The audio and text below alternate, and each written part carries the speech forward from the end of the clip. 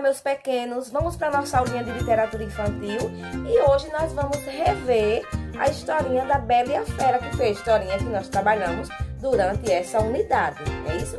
Então, aí na casinha de vocês, vocês vão pedir para o papai ou para a mamãe ler novamente a historinha, interagir, participar da história, ver o que foi que aconteceu, quem foram os personagens, o que você achou da história da historinha da Bela e a Fera. E eu sei que vocês gostaram, porque é uma bela história. É isso? Então viajem mais uma vez na historinha da Bela e a Fera, aí junto com sua família. Beijos, meu amor. Tia Rosiane está morrendo de saudades.